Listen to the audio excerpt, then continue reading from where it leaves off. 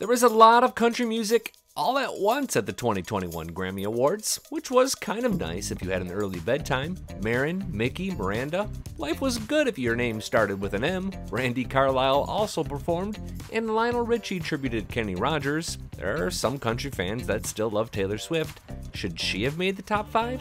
I'm Billy Dukes for Taste of Country, and thumbs up this video if you thought it was a good night for country music, and then subscribe, ring the bell, and be sure to let us know where we got it right and wrong in the comments section below. At number 5, it's the only country artist who won a Grammy on TV, Miranda Lambert. Bluebird was an even keel joy that lifted the mood of the show. As a song, it's not meant to blow you away, the lyrics linger and stick to your soul, and Miranda played into that just minutes after winning the Best Country Album Grammy Award. Her remarks backstage might be the most memorable. She made sure to lift up the other women of country music in her category. These are all really strong records, and all of my friends with, I mean, I just met Ingrid, but she's I respect what she does, and so everybody else I've known for a long time, and um, you know, toured with and been friends with and hung out with outside of work. So to me, it felt like whoever won, we were winning for each other. Find Taylor Swift at number four.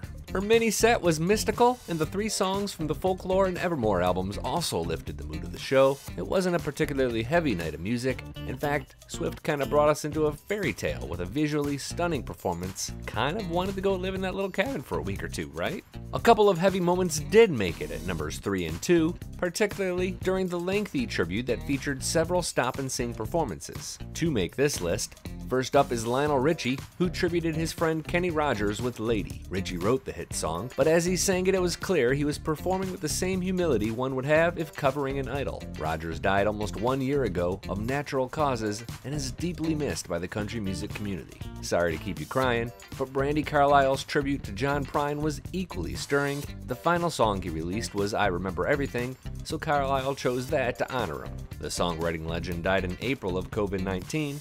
On this night, he won two Grammy Awards, and his family accepted on his behalf. Brandi also won her own, with The Highwomen winning for the song Crowded Table, but without a doubt her Grammy moment was a great vocal performance and tribute of a great songwriting legend.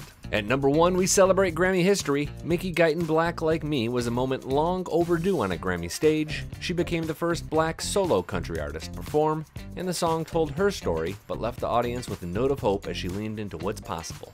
Her band was intentionally diverse, and you can click here to see why that was important to her. Expect to see a whole lot of Mickey in 2021, as she's just signed on to host the ACM Awards on April 18th. The new mama didn't win a Grammy for the song earlier in the day, but she did win our vote for the best country Grammy moment. Who do you think was number one? Let us know in the comments section below. I'm Billy Dukes for Taste of Country. Thanks for watching, and thanks for subscribing.